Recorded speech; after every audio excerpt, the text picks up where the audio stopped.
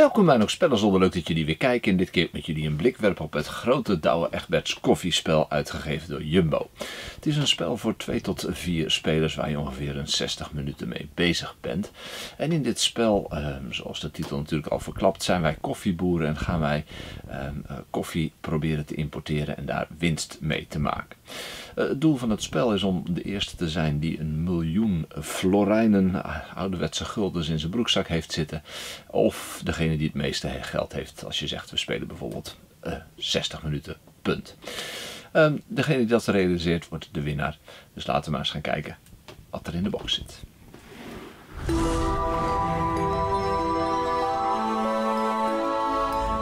Wij krijgen de spelregels in uh, ouderwets oude vormgeving, maar op zich duidelijk uh, met de verschillende acties en een aantal goede voorbeelden van het bewerken uh, van de koffie, maar ook de verkoopprijs, hoe je die berekent en de financiële mogelijkheden. Het is geen complex spel. We krijgen natuurlijk het speelbord met de posities waar we overheen gaan bewegen, um, waar we in eerste instantie de um, koffie binnenhalen, de koffie gaan bewerken, de mogelijkheid hebben via de wereldmarkten wat extra's te doen. En hier zo gaan we dan de koffie verkopen en zo lopen we onze rondjes. Um, en verder staan er nog de leningen die we kunnen gebruiken op. Um, dan krijgen we het geld in de klassieke flappen. De componenten voor elke speler in zijn of haar kleur. En deze twee mini-boxjes met daarin de kaarten, de bewerkingskaarten uh, en de koffieboontjes. Dat is wat we krijgen. Laten we snel maar eens een spelletje gaan opzetten.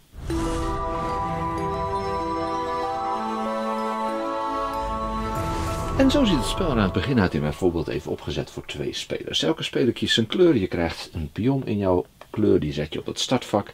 Een tweede pion die gaat bij de aflossingen. En je krijgt een aantal van dit soort uh, eigendomsmarkers die je kunt gebruiken om hier in de verschillende panden eigendom te gaan kopen.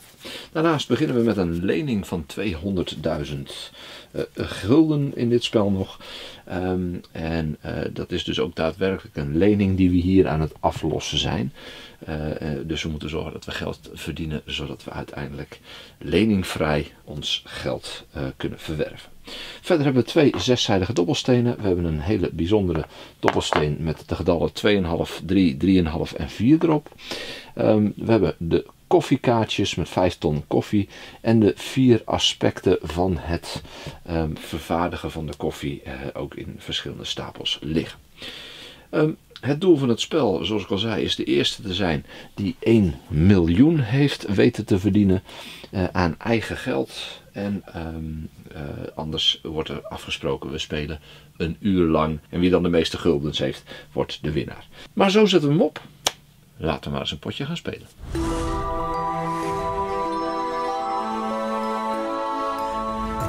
Wij willekeurig een startspeler aan en dan met de klok mee zijn de spelers aan de beurt. En als je aan de beurt bent, uh, gooi je met de dobbelstenen en verplaats je je pion. Je hebt twee dobbelstenen, maar je mag altijd kiezen of je met één dobbelsteen werpt of dat je met beide dobbelstenen werpt. Um, de vakjes die je op het bord ziet staan um, zijn in het begin vakjes waar je koffie kan inkopen. Hier zo kun je verschillende producties, um, dus eigenlijk opwaarderingen van je koffie kopen. Hier hebben we een handelsvakje en uiteindelijk kom je hier terecht. En vanaf dat punt ga je eigenlijk je uh, koffie proberen te verkopen voor zoveel mogelijk geld. Um, koffie kopen uh, werkt op een bijzondere manier. In principe kost één kaartje van 5 ton koffie 10.000 gulden. Maar dat bedrag wordt altijd vermenigvuldigd uh, met de koersdobbelsteen. Uh, omdat we, kopen het in dollars uh, en dan moeten we omrekenen naar guldens. Dus daar heb je deze dobbelsteen voor. Dat betekent dus dat als jij op de 20 ton of 15 ton of 10 ton komt, dat je specifiek dat aantal koffie moet kopen. Doe je dat niet, dan je, je bent niet verplicht te kopen, maar dan krijg je ook niks. Maar je kunt er niet voor kiezen om hier minder te kopen. Enkel het vraagteken ton vakje, of die twee vakjes, Laat je zelf kiezen hoeveel ton je wil kopen. Nou, ik heb geen koffie, ik heb koffie nodig. Dus ik ga beginnen met één dobbelsteen. Ik werp een 5. Dus ik beweeg 1, 2, 3, 4, 5 stapjes naar voren.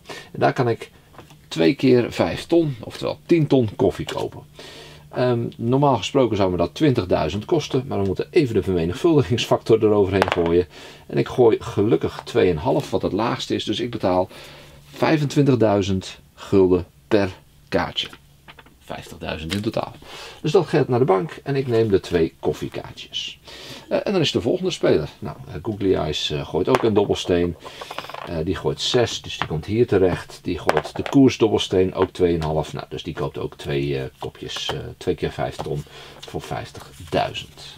maar dat kan dus ook een 4 zijn of een 3,5. Ja, dan wordt het een stuk prijziger. Gelukkig mag je eerst de koersdobbelsteen gooien voordat je beslist of je koopt. Nou, dan gooi ik um, nog een keer met één dobbelsteen. Ik gooi 4. 1, 2, 3, 4. Nou, in dit geval passeer ik de bank. De eerste keer dat we de bank passeren, uh, gaan we naar het eerste vakje van de lening. Je hebt hier de eerste lening en de tweede lening. De leningen die de bank je geeft kun je op elk moment afsluiten. Dus als je uh, zegt ik wil nog een tweede lening erbij, krijg je twee ton van de bank. Ga je alleen naar het onderste spoor. Um, en als je je lening afgelost hebt, ja, dan ben je in principe leningvrij. Maar heb je nog een keer 2 ton nodig, kun je dat gewoon op elk moment van de bank pakken. Ga je weer vrolijk aflossen. Dat ik op het bankvakje kom of deze passeer, uh, betaal ik 20.000 rente. Dat gaat naar de bank terug. En zet ik hem eentje verder. En dan de volgende keer weer 20.000, 20.000, 20.000. En daarna moet ik hem aflossen en moet ik dus 2 ton betalen aan de bank. mocht je een tweede lening uh, aflossen, dan ga je dus eigenlijk, heb je 400.000 van de bank geleend. En dan ga je per stapje 50.000 aflossen. En als je dan hier komt, moet je je twee leningen in één keer aflossen. Het spel is vrij genadeloos um, omtrent die uh, aflossingen. Maar wat je wil doen is je wil uh, op een gegeven moment op dit soort uh, kaartjes terechtkomen. Want dan mag je uh, de verschillende bereidingswijzes kopen. En hoe meer bereidingen je doet op je koffie, hoe meer centjes je ervoor kan vragen. Sterker nog, je hebt minstens één bereiding nodig om ze überhaupt te kunnen verkopen. Dat is de slechtste kwaliteit koffie. maar um, als, je, als je je koffie niet bewerkt, kun je het niet eens verkopen. Eh, maar laten we zeggen dat ik uh, op melangeren koop, kom. Eh, en dan mag je zoveel van dat soort kaartjes kopen. Gelijk aan de hoeveelheid koffie die je hebt, keer 2. Dus in dit geval mag ik vier kaartjes kopen. Elk kaartje wat ik hier koop kost mij 5000. Dus laat ik zeggen, ik koop er 4. Uh, dus dat is 10, 20.000. Uh, kom ik vervolgens bijvoorbeeld op het branden, kan ik hetzelfde doen. Nou, koop ik ook vier brandenkaartjes. Hoppata. Je mag er ook minder kopen, maar ik uh, vind het handig om een beetje voorraad te hebben. Nou, kost me dus weer 5000 per kaartje, dus weer 20.000. Um, ik werp nog een keer, ik uh, kom bij distribueren terecht. helaas niet op verpakken, nou doe ik ook maar een setje erbij. Hoppata, vier keer distribueren. Kost me weer 20.000. Nou, het geld vliegt zoals je ziet je portemonnee uit. Maar dat zijn de bewerkingskaartjes, die ga je kopen. Wat ik altijd handig vind is om op mijn koffie um, alvast een setje te leggen. Elk 5 ton koffie mag je met e-, één kaartje van elk type bewerking uh, verbeteren, waardoor de kwaliteit omhoog gaat. Dan kun je tot slot op de wereldmarkt gaan komen. Nou, op de wereldmarkt, vier vakjes, uh, daar heb je een aantal opties. Als je daar komt, mag je iets um, te koop vragen of aanbieden. Uh, laten we zeggen dat uh, bijvoorbeeld de blauwe speler, uh, die is wel op verpakken gekomen. Die heeft vier keer verpakken gekocht. die heeft ook maar twee, ehm, twee koffie. Die heeft pech gehad omdat hij heel hoog heeft geworpen. heeft hij die twee gemist. Dus ik zeg van nou weet je wat, als jij mij twee verpakken geeft, geef ik jou twee keer melangeren. Nou, hij zegt dat vind ik een goede deal, dat doen we. Uh, handje klap. En dan kun je dus ook gewoon eventueel geld tegenover zetten, whatever. Je gaat gewoon met elkaar een afspraak maken van uh, wat, uh, wat je wil. Maar je mag gewoon vrij met elkaar gaan handelen als je op de wereldmarkt komt. Daarnaast mag je um, je gaan inkopen in deze bedrijven. Het voordeel daarvan is, als je op een vakje kopt waar jij een eigendomsblokje hebt neergelegd, dan hoef je niet te betalen. Mag je gewoon gratis kaartjes pakken. En het tweede voordeel is, als een andere speler daar komt, dan moet hij gewoon de normale 5000 per uh, kaartje betalen. Dus daar is niks veranderd. Maar dat gaat dan niet naar de bank, maar dat gaat in jouw portemonnee. Um, echter, zo'n blokje kost je wel 40.000. En je mag er, als je op een wereldmarktkaart komt, uh, maar uh, twee um, kopen maximaal. Um, uiteraard, zodra iemand zo'n vakje bezet heeft met een eigendomssteen, kan daar niemand anders bij komen. En tot slot, ongeacht het resultaat, al gooi ik twee dobbelstenen, ik stop hier op het stopvakje. En als je op het stopvakje komt, dan ga je um, koffie verkopen. Je mag zelf bepalen hoeveel koffie je verkoopt. Eh, sterker nog, je moet van tevoren bepalen, beslissen welke koffie je wilt gaan verkopen. Nou, ik ga deze twee verkopen. Dat zijn twee keer 5 ton. En ik heb um, op die kaartjes maar liefst vier verschillende bewerkingen liggen. Dus dat betekent met vier bewerkingen dat ik hier op de bovenste track ga beginnen.